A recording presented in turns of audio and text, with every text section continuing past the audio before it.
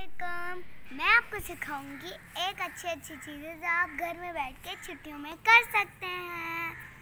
पहली चीज़, आप अपने बालों की केयर रखें, ओके?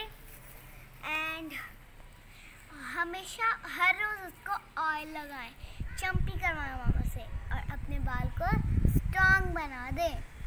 चीज़, अपनी स्किन की केयर रखें। घर में रहेंगे तो ज़्यादा वाइट हो जाएँगे आप लोग। हेल्थी खाना खाएँ। अपनी इम्यूनिटी को स्ट्रांग बनाएँ। अपनी होमवर्क करें जल्दी जल्दी। अच्छा अच्छा करें ताकि आपकी हैंड राइटिंग सही और अच्छी रहे।